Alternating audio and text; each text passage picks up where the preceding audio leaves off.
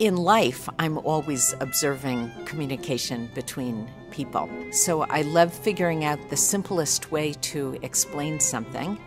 That's the way that I design things. I design things for people like me, that you just plug it together and they all figure out what they need to do. So I was doing this routing protocol, and when Ethernet came out, I said, Oh, this is a new type of link, and I have to modify the routing protocol. And I tried to argue, and I said, You still need my layer to, to forward data. And they said, Oh, Radia, nobody cares about your layer anymore. Something that's really complicated is never going to work. If more engineers did not like to put up with technology, they would design things that were a lot simpler to use. And, and not only simpler to use, but more robust.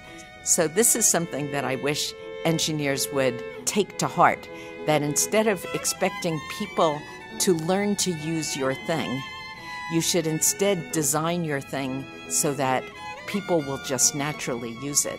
My work is about making data flow, and data is no different than cars flowing on a highway, where you don't want them going around in circles. You don't want them bumping into each other. Sometimes the path that you planned doesn't work anymore because a road gets closed and you have to figure out how to how to work around it.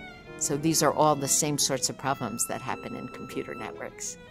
When I wound up playing chamber music, where I was playing with other instruments, it was really astonishing because you were not doing the whole thing. This other music was happening around you and it just all fit together. I was lucky enough that my daughter wound up being a serious violinist and I was her pianist. When a bunch of musicians are playing together, it is just like a network where each component, each instrument is doing their own piece, the, their own portion of the greater um, the greater goal, and somehow it just all fits together.